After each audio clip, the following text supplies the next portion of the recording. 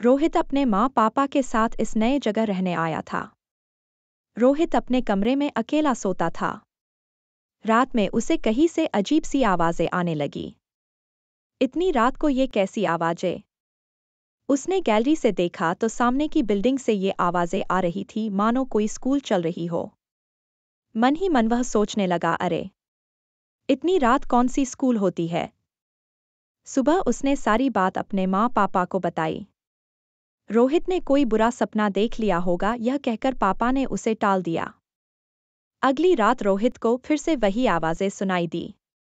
अब रोहित चुपके से उस जगह आया जहाँ से आवाज़ें आ रही थी और अंदर झांकने लगा। अंदर का नज़ारा देखकर वो घबरा गया। यह एक स्कूल था, भूतों का स्कूल। यहाँ हर रात भूत आते थे। यहाँ रोहित वहाँ से भाग खड़ा हुआ। लेकिन एक चुड़ैल उसे वहाँ से भागते हुए देख लेती है।